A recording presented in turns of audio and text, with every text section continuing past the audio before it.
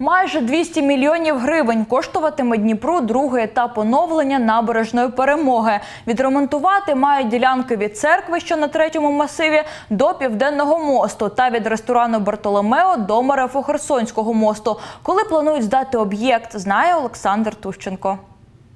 Робота на набережній кипить з восьмої ранку. Працювати лопатами стало важче ніж раніше, адже днями прийшов дощ, і ґрунт перетворився в багнюку. Одне радує, сонце не так пече, кажуть підрядники. Ну я дивлюсь, ви загорілі.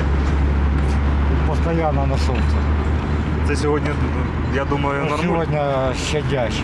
На набережній Андрій вже працює понад рік. Разом з колегами будував променад від прибережного скверу до церкви. Тепер же закладає занедбаний каналізаційний колектор. Це поки що єдина проблема для працівників. Сложности возникают тогда, когда начинается демонтажная работа. Потому что э, земля, как правило, при вскрытии может преподнести неожиданные э, сюрпризы.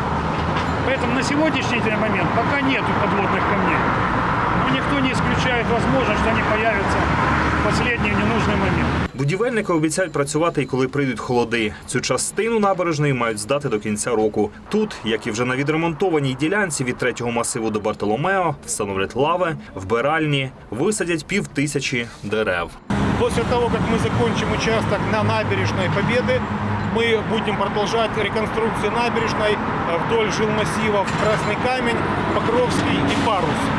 Потом у нас в планах, это уже есть и утверждено на Градсовете и внесено в генеральный план города, мы планируем соединить жилмассив Парус и жилмассив э, Победа велодорожками.